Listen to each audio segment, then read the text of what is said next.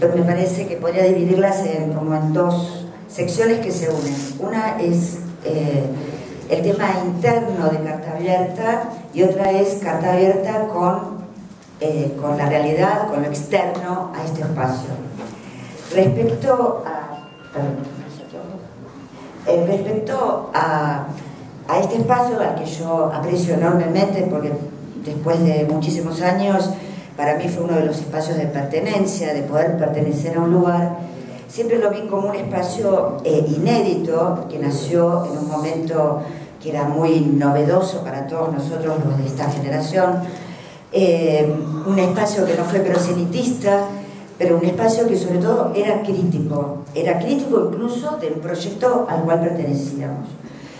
Eh, me parece que hoy eh, no estamos en ese momento, estamos en un momento donde tenemos que, mm, en un momento que cambió, un momento que cambió lamentablemente para todos nosotros, de una escalada fascista, neoliberal, donde nosotros tenemos que ver, qué, ya lo he dicho otras veces, qué lugar eh, vamos a ocupar en este momento, en este momento de transformación. No es lo mismo hacer una carta en el momento, en los años, desde el 2008 hasta el 2015, que hacerla a partir del 2016 y, ver ahora cómo están las cosas.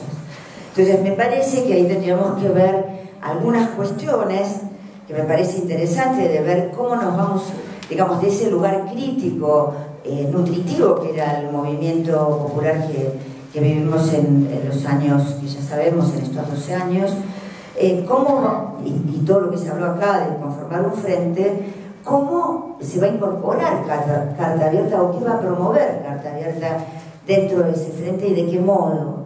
Yo no estoy cuestionando que no se haga una carta, pero creo que tenemos que buscar por ahí eh, modalidades que realmente lleguen a otros compañeros, porque si no, es algo que muchos decimos, dijimos, otros dijeron y se señala en muchos lados, terminamos en una cuestión endogámica de una carta que la leemos solamente entre nosotros.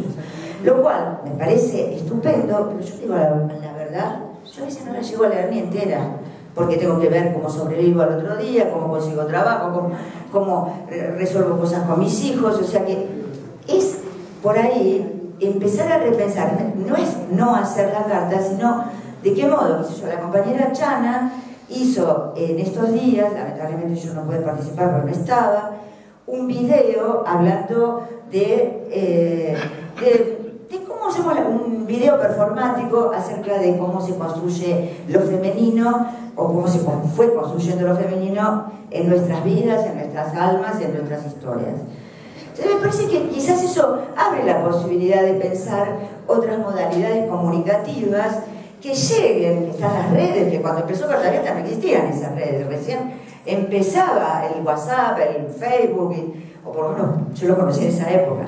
Entonces digo, repensar algunas cuestiones, no solo de la, digamos, técnica de qué va a ser esa carta, de las técnicas a utilizar, y también de los contenidos. Cuando fue el encuentro de la UMET, en eh, 20 días, no recuerdo cuándo, eh, yo participé como oyente de una reunión, de un panel que me pareció extraordinario, que era el peronismo del siglo XXI. Y que se hablaba de cosas que se mencionaron acá. El tema del lenguaje moderno, el tema del lenguaje, del lenguaje simpático, del lenguaje eh, fácil que usaba el macrismo. Y muchos de los jóvenes, que eran todos jóvenes los que integraban ese panel, dijeron, ¿por qué ese discurso tiene esa modernidad, esa plasticidad, esa simpatía, esa, eh, ese discurso leve, lo tiene que tener el macrismo? ¿Por qué lo, lo, lo robamos, digamos, por qué se lo cedimos a ellos? ¿Por qué no pensamos nuestro lenguaje en un lenguaje que llegue? Porque eso no quiere decir olvidarnos ni del pasado, de nuestras memorias. Yo fui una de las que más ha roto acá con el tema de la memoria, los derechos humanos, los juicios. Eso no implica dejarlo, pero ¿de qué manera es, eh, podemos incorporarlo para llegar a otros lados? No llegamos a otros lados. La gente está llegando a otros lados por la realidad, porque le quitan plata de su bolsillo, porque le aumentaron las tarifas, pero eso hay que llenarlo, hay que, no porque nosotros somos los, los genios que lo vamos a llenar, pero somos ese lugar crítico que surgió dentro del kirchnerismo, dentro de, esos maravillosos 12 años, nuestra obligación repensarnos y repensar cómo nos eh, ubicamos en el afuera, con el frente y por supuesto, que es lo que yo quería decir más allá, fundamentalmente con respecto al, funcionamiento interno de Carta Abierta, con respecto al 8M. Yo he participado de reuniones tan alejadísimas de lo que pasa acá adentro. Eh, se habla de otra cosa.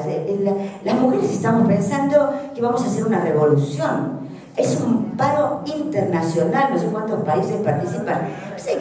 Hay que sumarse y hay que repensarnos. Y esto también a mí me hace pensar de qué manera se lleva la, la, inclusión de mujeres dentro de la coordinadora. ¿Cómo funciona esta coordinadora? Que muchos lo han mencionado me parece que es importante que la coordinadora sea más transparente, me parece que nosotros tenemos un funcionamiento asambleario eh, que debe utilizarse como tal, o sea, si se proponen compañeros y compañeras, porque aparte somos más compañeros que compañeros en Carta Abierta, hay más mujeres que hombres, me parece que no es una cuestión de igualdad, es una cuestión de funcionamientos más, más transparentes, más modernos, más ágiles, que deberíamos pensarlos. O sea, yo lo que planteo acá son cuestiones para pensar, que se pensarán en la coordinadora en cuanto a nuestros discursos, a nuestros modos de hacer la carta, que pueden ser distintos, pienso en videos, pienso en frases, pienso...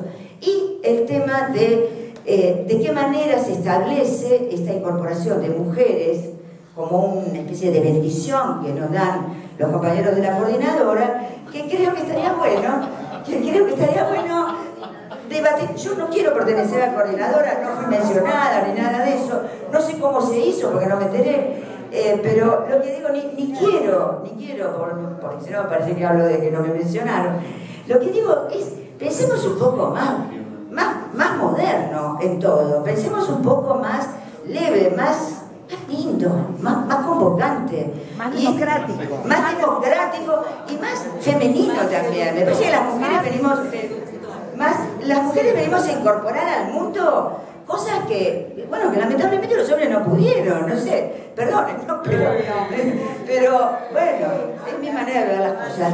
Ellos lo que planteo son interrogantes que se resolverán de una manera, con una comisión, una coordinadora distinta o eh, un funcionamiento asambleario distinto, pero me parece que son cosas para pensar, nada.